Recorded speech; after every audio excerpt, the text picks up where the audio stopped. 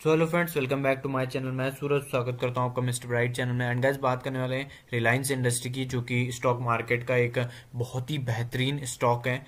And currently बात करें तो 1841.95 पे चल रहे हैं। और लास्ट ट्रेडिंग डे में आपको माइनस थर्टी की डिक्लाइन देखने को मिली। तो गाइज़ यहाँ पे देखिए आप लोग कब से जो है ये शेयर इस एरिया में घूम रहा था, लेकिन यहाँ पे लास्ट टू डे में इसने 1900 के आंकड़े को भी यहाँ पे तोड़ा है और मे भी अब आपको और गिरता हुआ नज़र आ सकता है। तो इसकी मेन वजह क्या है गाइज़ यहाँ पे मेरे को लगता है कि मेन वजह मेन कारण यही है कि लोगों के अंदर थोड़ा सा एक डर पैदा हो गया क्योंकि एलन मास्क का नाम आपने सुना होगा। वो जो है अंबानी को यहाँ पे टक्कर दे सकते हैं। इंडियन मार्केट में अगर वो अपना प्रोडक्ट लॉन्च करते हैं सो गाइज़ बहुत बड़ा कंपटीशन आ जाएगा रिलायंस इंडस्ट्री के लिए। सो so, यहाँ पे कंपटीशन जो है रिलायंस जियो का बढ़ जाएगा एंड 5G लॉन्च करने की तैयारी में थे मुकेश अंबानी जी। लेकिन यहाँ पे एलन मास्क ने बहुत बड़ा और बहुत अच्छा दाव खेला है। अगर जो इंडिया में इनका प्रोडक्ट लॉन्च हो गया तो रिलायंस इंडस्ट्री की कंपटीशन काफ़ी हाई कर देंगे वो और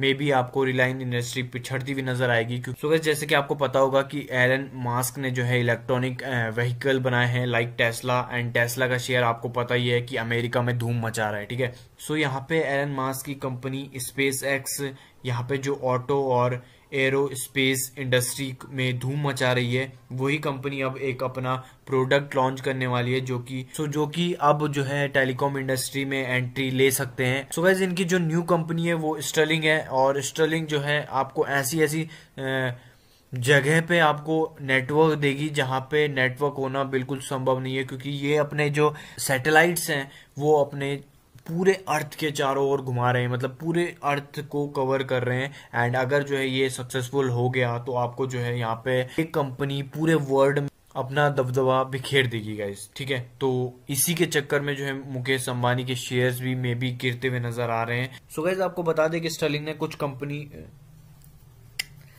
सो so गाइज़ आपको बता दें कि यहाँ पे स्टर्लिंग ने कुछ जो कंट्रीज़ हैं, वहाँ पे एंट्री ले चुका है ऑलरेडी एंड 1000 सेटेलाइट्स भेज चुका है अर्थ के इधर उधर ठीक है? तो यहाँ पे आपको 8000 से 9000 और सेटेलाइट्स भेजे जाएँगे ताकि ऑल जो वर्ल्ड होगा, वहाँ पे जो है आपको स्टेलिंग की सर्विसेज़ प्रोवाइड की जा सके। मतलब स्टेलिंग की जो नेटवर्किंग होगी, वो अर्थ के चारों ओर बिछा दी जाएगी। एंड देन जो है आपको यहाँ पे स्टेलिंग हर जगह मतलब चाहे वो हिल में हो, चाहे आप पानी के अंदर हो, पानी के सामने हो, कहीं पे भी हो, आपको नेटवर्क मिलेंगे, ठीक है? तो ये काफ़ी शानदार प्रोजेक्ट है। एंड इसकी, इसको मतलब सफलता इसलिए मिल रही है क्योंकि यहाँ पे गाइज़ उनका ही स्पेस एक्स है। मतलब उनको सैटेलाइट में भेजने के लिए कोई अदर पार्टी या अदर जो कंपनीज़ है, उनकी हेल्प नहीं लेनी पड़ रही है, ठीक है? यहाँ पे उन्हीं का है सारा कुछ स्पेस एक्स एंड उसी के माध्यम से ये स्टलिंग को लॉन्च करने की तैयारी में है, ठीक है? और अगर गाइज़ ये लॉन्च हो गया इंडिया में तो अंबानी जी के यहाँ पे कारोबार में काफ़ी नुकसान हो सकता है। सो गाइज़ इसीलिए जो है आपको रिलायंस इंडस्ट्री में भी मे भी आपको थोड़ा बहुत जो इन्वेस्टमेंट है, चाहे वो फॉरन से हो, चाहे यहाँ पे कंट्री से हो, थोड़ा बहुत निकलता हुआ नज़र आ रहा है। सो अभी इसमें टाइम है, लेकिन शानदार बात है गाइज़ और यहाँ पे देखिए आप लोग काफ़ी आर्टिकल्स पढ़े मैंने। यहाँ पे देखिए भारत के लिए एलन मास्क की बड़ी तैयारी, ठीक है? तो मुकेश अंबानी की बढ़ सकती है टेंशन तो ऐसे आर्टिकल्स मैंने बहुत जगह पढ़े हैं तो ये जो है, हम ही नहीं करें। सारी जो आर्टिकल्स हैं न्यूज़ हैं, वो यहाँ पे आपको डिस्कस करते हुए नज़र आएँगे। एंड अगर जो है ये कामयाब होता है तो बहुत बड़ी अचीवमेंट होगी।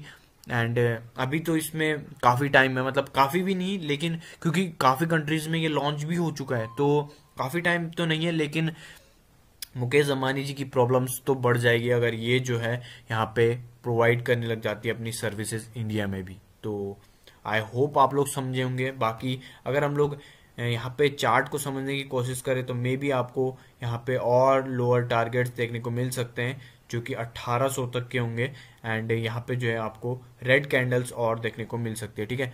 तो यहाँ पे अभी और डिक्लाइन यहाँ पे देखने को मिल सकता है आपको, क्योंकि 1900 का यहाँ पे ब्रेकआउट हुआ है, बहुत अच्छा सपोर्ट था, जो कि यहाँ पे ब्रेक हुआ है तो यहाँ पे मे बी आपको सत्रह सौ तक के टारगेट भी मिल सकते हैं रिलायंस इंडस्ट्री में तो देखना पड़ेगा गाइज़ और बजट किस हिसाब से होता है? बजट को देखना होगा. बजट अगर फेवर कर जाता है रिलायंस के तो आपको जो है यहाँ पे मे बी यहाँ से कम बैक देखने को मिले 1800 के करीबन से। लेकिन अगर बजट भी एफआईआई या फिर रिलायंस के अगेंस्ट होता है तो फिर जो है आपको यहाँ पे शेयर जो है डिक्लाइन देखते हुए और और डिक्लाइन देखते हुए नज़र आएँगे।